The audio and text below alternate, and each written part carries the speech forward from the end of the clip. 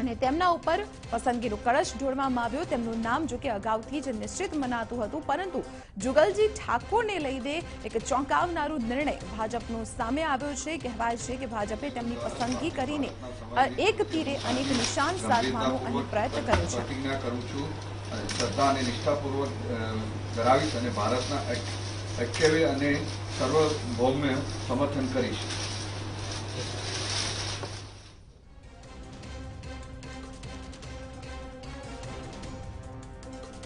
તો ઉત્તર ગુજરાતમાં જુગલજી ઠાકોરને એક યુવા નેતા તરીકે આગળ વધારવાનો પ્રયત્ન ભાજપ તરફથી કરવામાં આવી રહ્યો છે સ્વચ્છ પ્રતિભા ધરાવે છે જુગલજી ઠાકોર ઠાકોર સમાજ માટે અનેક સેવાકીય પ્રવૃત્તિઓ તેમના દ્વારા કરવામાં આવી છે ભરતસિંહ ડાબીને પણ જીતાડવામાં તેમનો મહત્વપૂર્ણ ફાળો રહ્યો છે મહેસાણાથી તેમને ભાજપની ટિકિટ માંગી હતી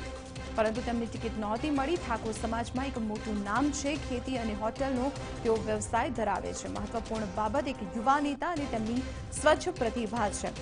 ઉત્તર ગુજરાતમાં ઠાકોર સમાજમાં જે પ્રકારે અલ્પેશ ઠાકોરની પ્રભુત્વ જોવા મળી રહ્યું છે ત્યારે અલ્પેશના એક વિકલ્પ તરીકે હવે જુગલજી ઠાકોરને એક નેતા તરીકે તેમનું વ્યક્તિત્વ વધારવાના એક ભાગરૂપે આ કવાયત ભાજપ તરફથી જોવામાં આવી રહી છે ઉમેદવારી ફોર્મ ભર્યા બાદ અભિનંદન પાઠવતા મુખ્યપ્રધાન અને જીતુ વાઘાણી આ તસવીર અમે આપને બતાવી રહ્યા છીએ વિધાનસભા ભવન ખાતેથી જોઈ શકાય છે ભાજપના બંને નેતાઓએ પોતાના નામાંકન ભરી દીધા છે ઉમા- ઉમેદવારી પત્ર ભરી દીધા છે ભાજપ પોતાની જીતે લઈને નિશ્ચિત છે ત્યારે અ, નામાંકન ભરતી વખતે જ બંને નેતાઓને શુભેચ્છા પણ પાઠવવામાં આવી છે અભિનંદન પાઠવવામાં આવ્યા છે અને મોં પણ મીઠું કરાવવામાં આવી રહ્યું છે મુખ્યપ્રધાન વિજય રૂપાણીએ અને સાથે જ જીતુ વાઘાણીએ પણ આ બંને ઉમેદવારોના મોં મીઠા કરાવી અભિનંદન પાઠવ્યા છે આ તસવીર અમે આપણે સીધી જ બતાવી રહ્યા છીએ વિધાનસભા ભવન ખાતેથી કે જ્યાં રાજ્યસભાના ઉમેદવાર તરીકે એસ જયશંકર અને જુગલજી ઠાકોરે ઉમેદવારી ફોર્મ ભરી દીધા છે અને તેમની જીત જ્યારે નિશ્ચિત છે ત્યારે તેઓ રાજ્યસભાના જાણે કે સાંસદ અત્યારથી જ હોય તે પ્રકારનો ઉત્સાહ ભાજપના કાર્યકર્તાઓમાં જોવા મળ્યો મુખ્યપ્રધાને તેમનું મોં મીઠું કરાવ્યું અને પુષ્પગુચ્છ આપીને તેમને અભિનંદન પણ પાઠવ્યા છે